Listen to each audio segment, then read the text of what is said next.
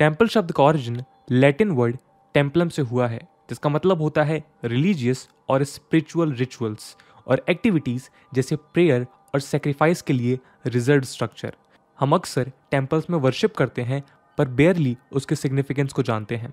हालाँकि किसी भी मंदिर में प्रार्थना करने से पहले उसके पीछे का बिलीफ टेल्स एक्सेट्रा को जानना उतना ही इंपॉर्टेंट है जितना दर्शन करना। इससे वर्शिप और ज़्यादा मीनिंगफुल हो जाती है। भारत में मेजोरिटी हिंदुइज्म या हिंदुइज्म से ड्राइव सेक्शंस और बिलीव्स पर फेथ रखते हैं। यहाँ हिंदुइज्म, बुद्धिज्म, जैनिज्म और सिखिज्म का उद्गम हुआ है। आज का वीडियो दोस्तों, हिंदुइज्म में होली साइट्स माने जाने वाले चार धाम यानी नॉर्थ में बद्रीनाथ ईस्ट में जगन्नाथपुरी साउथ में रामेश्वरम और वेस्ट में द्वारिका पर डिस्कशन है। हम इन चारों धामों को एक एक करके डिस्कस करेंगे और हिंदुइज्म में इनके अनकम्पेरेबल और इनसेपरेबल इंपॉर्टेंस को जानेंगे। ये चार holy and honoured shrines Indian subcontinent के चार कार्डिनल पॉइंट्स पर लोकेटेड हैं, जो माना जाता है कि लॉर्ड विष्णु द्वारा इंटीमेटली पसंद किए जाते हैं।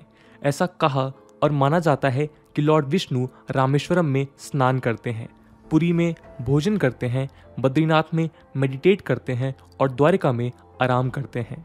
इसलिए इन जगहों को चार धाम कहा जाता है। इन चारों धामों को शंकराचार्य जी ने एट सेंचुरी में स्टैब्लिश किया था। धाम का अर्थ है एक सेक्रेट प्लेस चलिए एक एक करके इन धाम को डिस्कस करते हैं। नमस्कार दोस्तों, मेरा नाम है आदर्श और स्वागत है आपका स्टडी आईक्यू में। जगन्नाथ। मेजेस्टिक जगन्नाथ टेंपल पूरी ओडिशा में लोकेटेड है। ये एक कोस्टल टाउन है जो हिंदू रिलीजन में एक पिलग्रिमेज साइट है। ये मंदिर लॉर्ड जगन्नाथ को समर्पित है, जो विष्णु के ही एक फॉर्म है।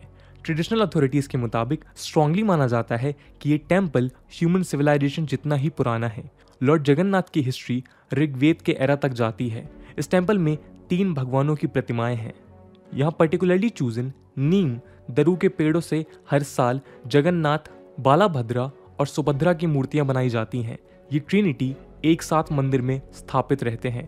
जगन्नाथ दोस्तों यूनिवर्स के लॉर्ड माने जाते हैं। तीनों मूर्तियाँ मंदिर के सैंक्टम में रत्ना बेदी पर स्थापित हैं।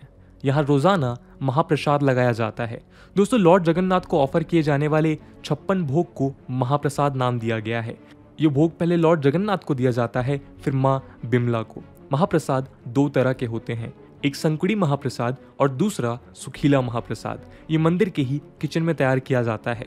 दोस्तों, आपको जानकर हैरानी होगी कि भोग बनाने के लिए 250 अर्दन ओवंस यानी भट्टी के साथ 32 रूम्स इस्तेमाल होते हैं, जिसमें 600 कुक्स काम करते हैं और 400 असिस्टेंट्स सर्व करते हैं। यहाँ दोस्तों सालाना रथ यात्रा ऑर्गेनाइज की जाती है। ये एक फेस्टिवल की तरह होता है। जगन्नाथ टेंपल में मौजूद तीनों मूर्तियों को सालाना मंदिर से गुंडीचा टेंपल तक यात्रा करवाई जाती है। इस कार्यक्रम के लिए एक बहुत मज़बूत और विशालकाय रथ तैयार किया जाता है।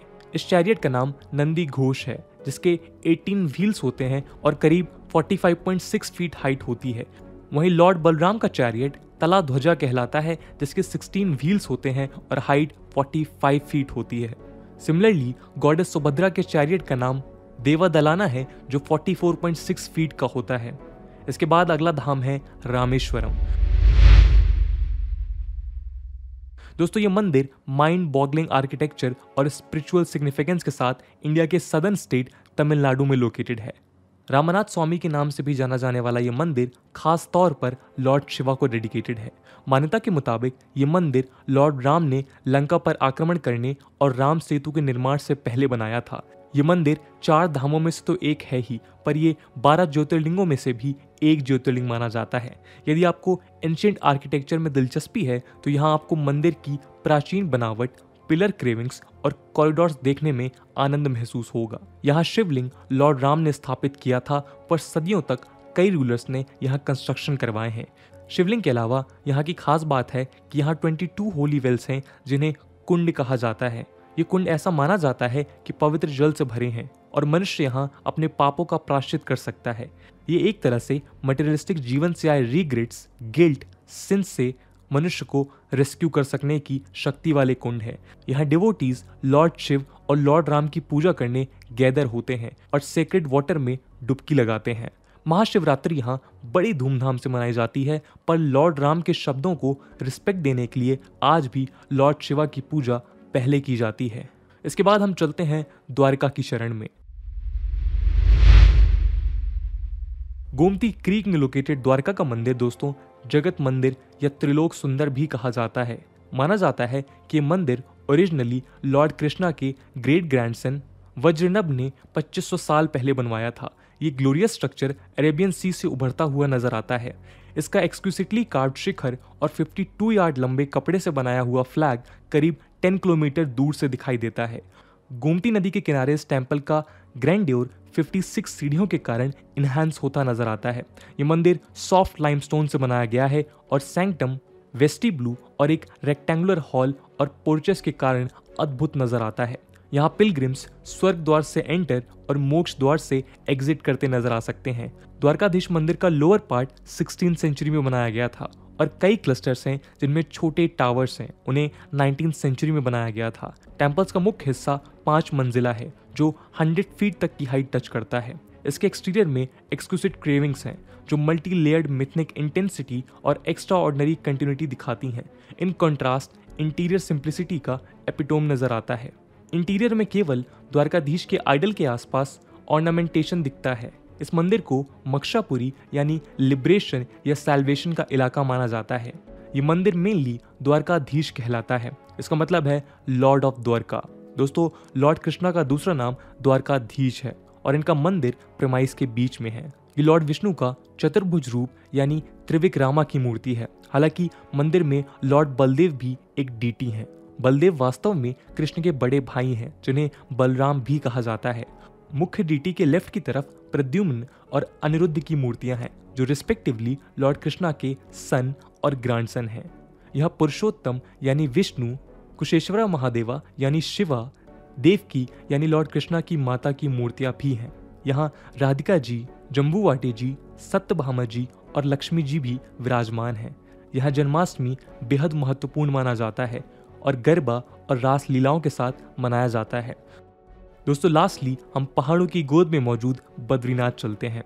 वीडियो के एंड होने पर आपको चारों धामों के बारे में बेसिक बातें मालूम होने के लिए लॉर्ड बद्रीनाथ की चर्चा ज़रूरी है। दोस्तों, चार धाम में शामिल बद्रीनाथ उत्तराखंड में लोकेटेड है। एंशियंट बिलीफ के मुताबिक ये बताया जाता है कि यहाँ बद्री ट्री के नीचे लॉर्ड विष्णु ने हज़ार साल मेडिटेशन यानी तपस्या की थी, ताकि मानवता का उद्धार हो सके और तभी से ये लोकेशन सेक्रेड मानी जाती है। यहाँ उसके बाद लॉर्ड बद्रीनाथ का मेडिटेशन के पोज में एक मंदिर स्टैब्लिश किया गया था और यहाँ डिवोटीज को मेस्मराइजिंग और स्पेल बाउंड करने के लिए इन्वायरमेंट और स्पिरिचुअल पीस मौजूद है। लॉर्ड विष्णु के आइडल्स और इमेजेस के साथ ये मंदिर दोस्तों ग्रेटली इम्पैक्टफुल है। चमोली डिस्ट्रिक्ट में स्थित लॉर्ड विष्णु का ये मंदिर नर नारायण टेंपल के बीचों बीच है। इसके तीन सीक्रेट सेक्शंस हैं। गर्भागृह, सभा मंडप और दर्शन मंडप। बद्रीनाथ टेंपल के अलावा लोगों को फैसिनेटिंग तरह से कैप्चर करने के लिए यहाँ तप्त कुंड, सूर्या कुंड और पंच बद्री जैसे सीक्रेट स्पॉट्स भी हैं। यहाँ लॉर्ड विष्णु बद्री नारायण के रूप में पूजे जाते हैं। नर नारायण टेंपल में मौजूद एक मीटर ऊँची लॉर्ड विष्णु की एक मूर्ति को सालिग्राम कहा जाता है। दोस्तों सालिग्राम का घरों की पूजा में अत्यंत महत्व माना जाता है। यहाँ दोस्तों फेस्टिवल्स में सबसे इम्पोर्टेंट है माता मूर्ति का मेला। जो गंगा रिवर का मदर अर्थ पर उतरना मार्क करता है। लॉर्ड बद्रीनाथ की माता को इस दौरान वर्शिप किया जाता है। कहा जाता है कि उन्होंने अर्थ पर रहने वाले प्राणियों के वेलफेयर के लिए गंगा को ट्वेल्व चैनल्स में डिवाइड किया था और जहाँ से गंगा फ्लो हुई, उसे बद्रीनाथ कहते हैं। क्योंकि ये उत्तराखंड के ऊँचे हिस्से में लोकेटेड है विंटर में ये मंदिर क्लोज होता है। दोस्तों, यहाँ अखंड ज्योति हमेशा प्रज्वलित रहती है और जब मंदिर क्लोज किया जाता है तो ज्योति में छह महीनों तक जल सकने की क्षमता बनाए रखते हुए घी भरा जाता है। मंदिर क्लोज होते वक्त भगवान बद्रीनाथ की इमेज को नोशनली यानी केवल मान्यता में नरसिम्हा टेंपल ज्योतिर्मठ में ट्रांसफ़र किया जाता है, जो बद्रीनाथ मंदिर से 64 किलोमीटर दूर है। इसे अप्रैल, मई के बीच अक्षय तृतीया पर पुनः खोला जाता है। तो दोस्तों, ये थी कहानी चार धाम की। कैसा लगा आपको ये वीडियो? कमेंट सेक्शन में ज़रूर बताइएगा। आज की वीडियो के लिए इतना ही। आई होप आपको वीडियो पसंद आई होगी। और अगर पसंद आई है तो अपने दोस्तों के साथ शेयर करना मत भूलिएगा। हम मिलते हैं अगले वीडियो में। तब तक के लिए जय हिंद, जय भारत।